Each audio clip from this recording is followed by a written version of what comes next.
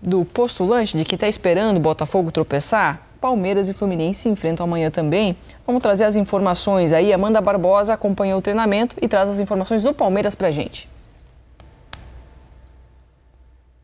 Encerrou hoje a preparação para enfrentar o Fluminense nessa última rodada do Campeonato Brasileiro. Jogo que vai acontecer amanhã aqui na Arena do Palmeiras. Um jogo que significa muito. Ao final dos 90 minutos, a gente pode até ter um gigante tricampeão brasileiro e também um gigante rebaixado aí na competição.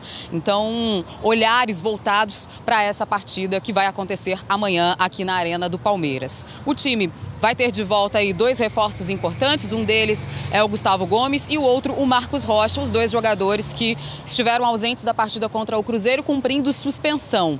E aí devem retornar ao time titular do Abel Ferreira, que conta também com o Estevão, um jogador que vem sendo uma arma importante no esquema do Abel, né? Foi ele o dono do gol da vitória contra o Cruzeiro na última partida. Estevão que tem até agora 13 gols marcados no Campeonato Brasileiro, um a menos que o artilheiro ali, né? Que o Yuri Alberto também o Alejandro, e ele pode até chegar a ser o artilheiro mais novo da história do Campeonato Brasileiro, caso é, supere essa marca aí, né, do Yuri Alberto e também do Alejandro. A gente lembra que é um jogador que também tem nove assistências. Como a gente disse, tem sido um atleta muito importante aí para o Palmeiras pelo seu poder de decisão e o nível de confiança que tem não só do Abel, mas também dos seus companheiros de equipe. Palmeiras que precisa vencer e ainda torcer pela derrota do Botafogo para sair daqui com o tricampeonato brasileiro. Um grande abraço para todos. Obrigada, Amanda, pelas informações. Esse jogo tem disputa dos dois lados, né? Nossa, esse jogo é muito dramático. É, esse jogo é dramático. Palmeiras buscando aí vencer para ver o que, que acontece na partida do Botafogo e o Fluminense tentando Só não pode do, perder. Do rebaixamento, né? Vamos botar aqui o campinho do Palmeiras para a gente iniciar essa análise em cima do Palmeiras, que tem o retorno aí do Marcos Rocha, do Gustavo Gomes também reforços aí para o Abel Ferreira. O Everton no gol, Marcos Rocha na lateral direita, Murilo e Gustavo Gomes na zaga. A fotinha do Gustavo Gomes. É, o Gustavo Gomes até tão diferente essa foto. Vanderlan no lado esquerdo, Aníbal Moreno e Richard Rios uh, de volantes, Rafael Veiga completando meio campo. No ataque, Estevão, Felipe Anderson e Flaco Lopes como a referência no ataque, né? E sempre tem uma discussão aí sobre esse homem é de referência. Mas é porque a questão né? parece essa questão do Rony, do Du, é, a possibilidade sim. de algum desses atletas parece que já estarem num processo pelo que a gente escuta, na é verdade, né, Mansur? É de não estarem no ano que vem, então é por isso essa escalação. E é um Palmeiras que cada vez mais dependente do Estevão para buscar seus gols, né, Mansur? Assim, é, o, o, o, a questão desse jogo, o que a gente vai esperar, o que a gente vai ver do Palmeiras, a gente já sabe mais ou menos o que esperar, né? É. O Palmeiras é um time que mantém uma cara, uma forma de jogar, com a sua consistência. Acho que não, nem, nem de perto é a melhor temporada de rendimento dessa era Abel Ferreira do Palmeiras e ainda assim ele tem uma forma de jogar tão já incutida dentro do, do que é o, o, dia a dia desse elenco. Os jogadores já absorveram isso de, de tal forma que ainda assim é o suficiente para ele ir conquistando resultados que mantiveram ele brigando até o final. Assim, aconteça o que acontecer é, com o Palmeiras, e, e, de fato o Botafogo é muito favorito a ser campeão, é, a temporada ela pode ser, ela é, em termos de título, não é o que o torcedor esperava, é, teve o desapontamento na Copa do Brasil, mas contra um grande adversário que terminou por ser campeão. Um desapontamento na Libertadores contra outro adversário que terminou por ser o campeão. É, e, e, não é simples um time se manter disputando o título até o final, até a última rodada, depois de ter conquistado dois anos seguidos o campeonato de pontos corridos de 38 rodadas. Isso significa. É, é, é são 114 rodadas é, é, perseguindo o título, sem contar os anos anteriores de conquistas. Né? Então, é, não dá para dizer que é uma, uma, uma temporada é, terrível do Palmeiras, de, um, de, de, de, de, um, de resultados horríveis. Não é o que se esperava em termos de títulos, mas você se manter até a última rodada, pelo, depois de dois anos seguidos sendo campeão brasileiro, disputando o título, eu acho que está à altura. Eu acho que mostra uma, mostra uma consistência de trabalho. Acho que o Palmeiras vai precisar para 2025 encontrar caminhos para fazer o time dar um passo adiante em termos de rendimento. Né? Talvez alguns investimentos de janela, é, porque é uma temporada, meia temporada de Estevão, né? Que hoje é tão importante. Sim, sim. E, e, pensando no ano que vem. Vai ele, até o Mundial, né? ele tem a saída a, após, o, após o Mundial. É, acho que tudo isso vai precisar ser pensado. Agora, em relação à forma de jogar, é o Palmeiras que vai tentar tomar iniciativa, que vai tentar empurrar o Fluminense para trás, que vai perseguir o gol desde o início. Até a hipótese de o Botafogo resolver muito rapidamente o jogo no, no, no Newton Santos e isso criar uma, uma desmotivação, não digo uma desmotivação, mas uma decepção em quem está em campo. Mas até isso eu acho que não combina tanto com esse Palmeiras. Eu acho que o Palmeiras vai continuar é, tentando terminar da melhor forma, o que é má notícia para quem está do outro lado, que é um Fluminense ainda em desespero com a questão do rebaixamento. Bom, então vamos trazer aí as informações é, do Fluminense. Ricardo Lai conta para a gente como esse Fluminense vem para enfrentar o Palmeiras. Fala pessoal, um grande abraço a todos. No embarque do Fluminense para São Paulo, onde amanhã enfrenta o Palmeiras pela última rodada do Brasileirão, o presidente do clube, Mário Bittencourt, deu uma entrevista aqui no Galeão, dando o tom aí da mobilização do Fluminense, que corre risco de ser rebaixado para a Série B. Mas o time depende do próprio resultado para se garantir no Brasileirão do ano que vem. O empate, por exemplo, o time escapa do rebaixamento. Vamos conferir aí a manifestação do presidente Mário Bittencourt. A gente se preparou muito né, nessa última semana. É, não só para esse jogo, mas também para o jogo passado do Atlético Paranaense, do Cuiabá. E acabamos chegando na última rodada ainda, né? Infelizmente com chances é, do rebaixamento, mas é, dependendo só de nós, né? Então, assim, acho que o mais importante é essa mensagem é, positiva e, e, e, de que nós estamos preparados para o jogo de amanhã. Sabemos que é um jogo muito difícil, mas a gente, enfim, se preparou para essa última batalha. É, e é muito importante que os nossos torcedores, as pessoas que amam o clube estejam junto da gente amanhã. Contra o Palmeiras, o Diogo Barbosa não vai jogar, está machucado, está com problema na coxa esquerda, é desfalque certo, não embarcou para São Paulo. Outro desfalque no Fluminense é o Bernal, que levou o terceiro cartão amarelo contra o Cuiabá no Maracanã na quinta-feira. E o time tem um reforço aí para esse jogo decisivo do Paulo Henrique Ganso. Ele que cumpriu suspensão contra o Cuiabá, volta à equipe num momento delicado e ele com a experiência, a referência técnica, pode ser importante para o Fluminense permanecer no Brasileirão no ano que vem. Boa, então já vamos montar esse campinho aí do, do Fluminense com os desfalques né, de, de fora. Vamos, vamos montar quem está à disposição, com Fábio no gol, Samuel Xavier no lado direito, Thiago Silva e Thiago Santos, a dupla de zaga. E o Fuentes é o lateral esquerdo, aí já confirmado pelo Ricardo Lai. No meio-campo tem o Lima e o Martinelli e o Paulo Henrique Ganso. No ataque, Arias, Serna ou o Queno, que entrou bem o Queno no último jogo, né? Cano ou Cauã Elias. Essas são as dúvidas também do Mano Menezes ali para o ataque, Mansur. Uma questão muito importante essa questão do meio-campo, né? É, o Bernal, que chega como substituto do André, uhum. obviamente existe uma, uma, Sim. Jogadores diferentes, né? Uma diferença. Bem não diferentes. só de característica, mas mesmo de termos de capacidade, né? O Bernal ainda é um jogador que pode chegar, vai estar se desenvolvendo, se adaptando, mas nesse momento não tem o nível que o André tinha e os recursos que o André dava ao time. Só que sem ele, o Fluminense teve alguns jogos em que ele se fragilizou muito no meio. E para esse time que se recuperou no campeonato a partir de uma capacidade de defender a própria área e de ser um time muito mais direto do que era no tempo do Diniz, isso faz uma diferença. A dúvida mais difícil para mim de solucionar é a do ataque. Hum. É... Se você pensa a característica do jogo, você tende a achar que o Cauã Elias pode te dar mais ajuda. Mais tempo que o Fluminense deve ficar atrás, mais necessidade, às vezes, de ter uma bola alongada, um jogo direto para alguém sustentar. O Cano não é esse jogador que vai te dar a, a, a possibilidade de correr as costas da, da defesa. Por outro lado, é difícil num jogo desse você abrir mão de alguém tão experiente, com tanta casca, com tanta história de gols importantes. Essa é uma dúvida que eu acho bem difícil. É, acho que ali na frente o Mano está quebrando a cabeça, até para até levar em consideração a postura do Palmeiras. O Keno, para né? mim, um, vive um momento melhor que o Serna. É, eu, eu acho Eu acho que, que ele é até mais jogador do que o Serna, uhum. se for ver ainda. O Serna é mais jovem, tudo, mas né? parece que de ferramentas, assim, o, o Keno ele tem mais, né? Ele oferece mais coisas e Fora que ele está vivendo, ele tem ajudado muito, né? É, o, o, Fluminense nesse sentido. E aí tem aquele lado, esse atacante de beirada tem que ajudar muito a questão do Estevo do lado, é. Do lado aqui do Fuentes, no caso, é, né? É isso. Para fazer essa marcação pela frente e tal. Então, ah, o Ares poderia, poderia, mas ele não vai fazer isso para segurar. Serra talvez tenha mais caixa para isso, né? Entendeu? Pode até ser, porque o Ares joga aqui também na, na, na seleção colombiana, muitas vezes ele joga uhum. por aqui, poderia fazer. Mas eu concordo sobre a questão do, do cano é, e você ter um, um, pouco mais de perna para o Cauã, naquele sentido, é, para um segundo tempo, algo desse tipo, porque o Cano também ele ajuda a marcar demais, é. tem uma consciência, Olha, algo que pode ser do, importante. do Palmeiras contra o Cruzeiro, o Palmeiras tomou muita bola nas costas da zaga. Muita, muita. A zaga teve que correr para trás, né, como a gente fala, para uhum. tentar buscar esse jogador que fazia diagonal diversas vezes na partida, passou sufoco. Claro, o Palmeiras poderia ter aberto o placar no primeiro tempo. É, criou enfim, bem mais. Né? Criou bem mais, mas essa foi uma jogada do Cruzeiro que é um time que não está jogando bem.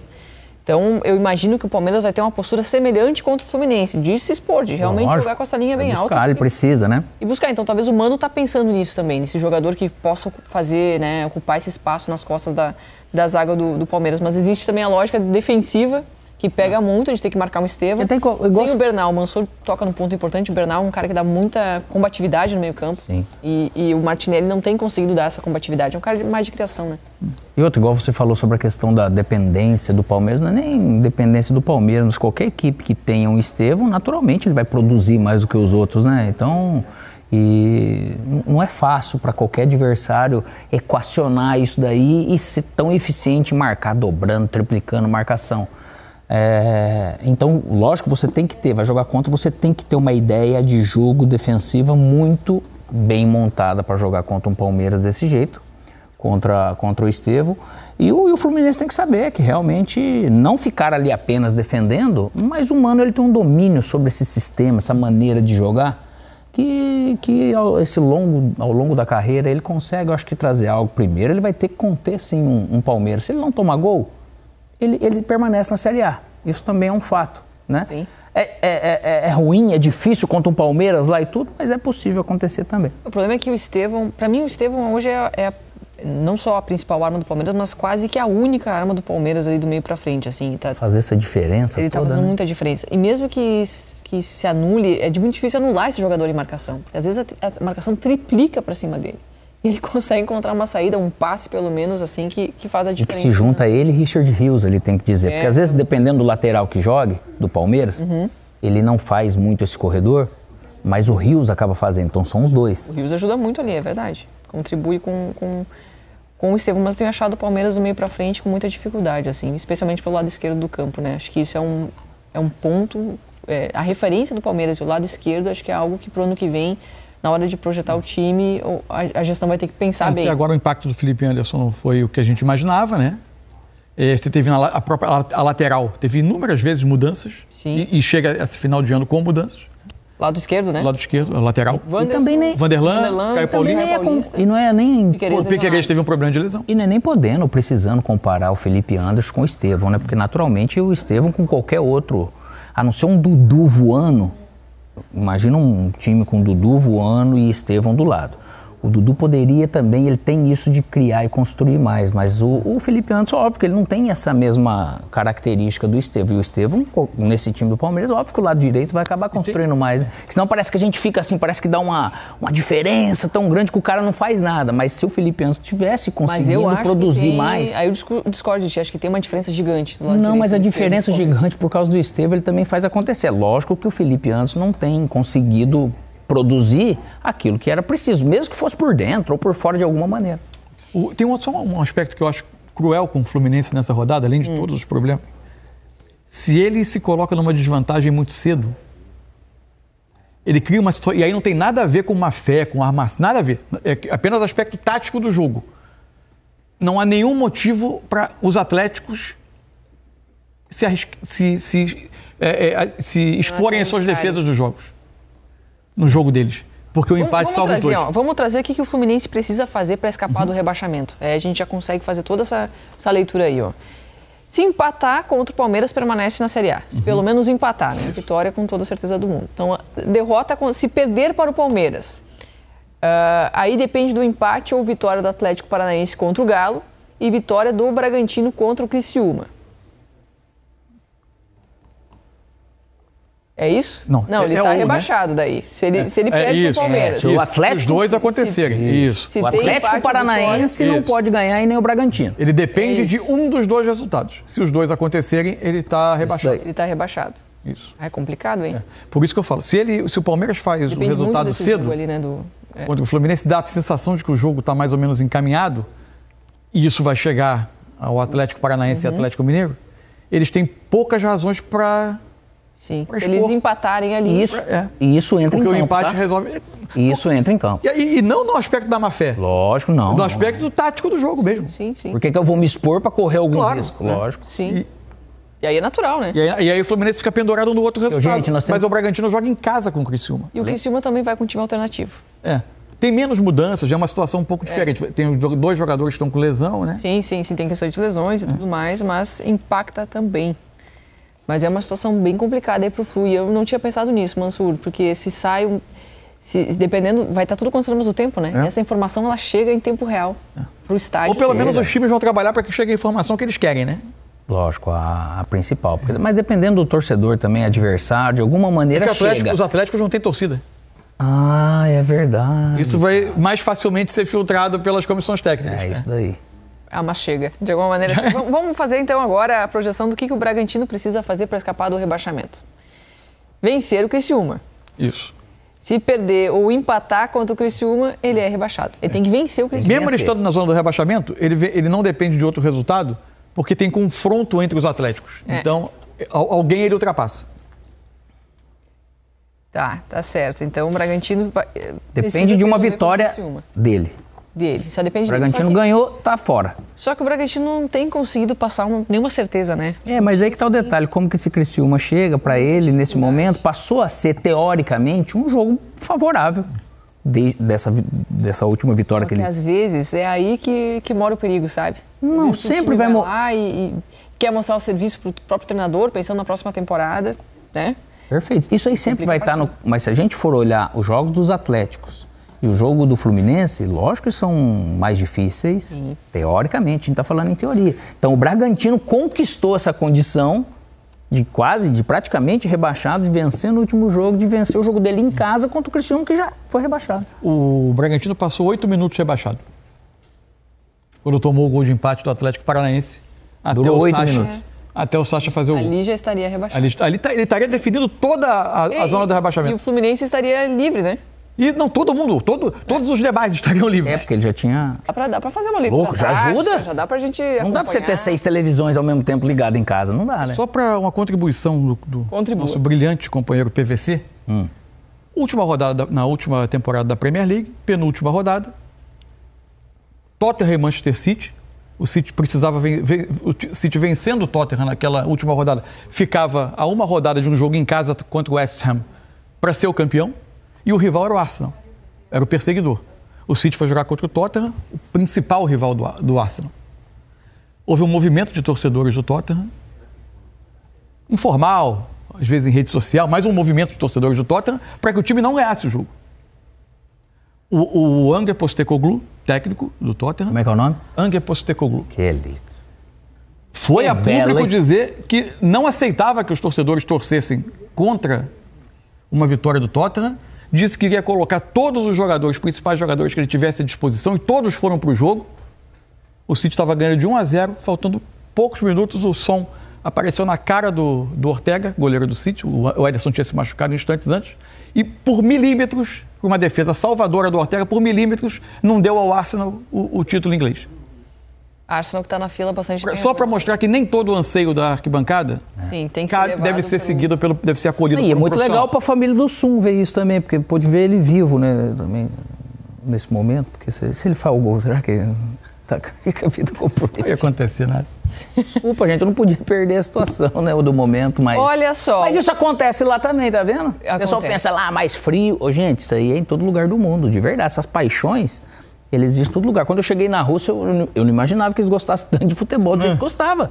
E era desse jeito, cara. Era muita gente torcendo. E esses sentimentos, eles são iguais em todo lugar do mundo. É, o futebol permite a passionalidade, hum. né? Mas quem está no clube tem que ser racional. Bom, teve o sorteio do Mundial de Clubes que vai acontecer na metade do ano que vem. Vamos trazer para vocês aí os jogos. É, hoje foi anunciado é, a tabela, né? confrontos, né? então, a tabela. A tabela. Deixa é. eu passar para. Ó, tá aí na tela já. Ó. Datas e cidades. Botafogo e Seattle Sand Sanders, Sounders, perdão, acontece no dia 15 de junho às 11 da noite. Vai jogar Seattle. em casa. O, o, Palmeiras é o primeiro clube que vai estrear na competição diante do Porto, tá? Também no dia 15 de junho, mas às 7 da noite em Nova Jersey. Uh, e o Botafogo é no, no, mesmo dia, às 11, um pouquinho mais tarde, tá? O Flamengo também estreia no dia 16, às 10 da noite, contra o Esperance, no estádio Lincoln Financial Field, na, fi, na Filadélfia. Será que tem esperança? E por fim, o Fluminense faz seu primeiro jogo diante do Borussia, no dia 17 de junho, no MetLife Stadium, na Nova Jersey, à 1 da tarde.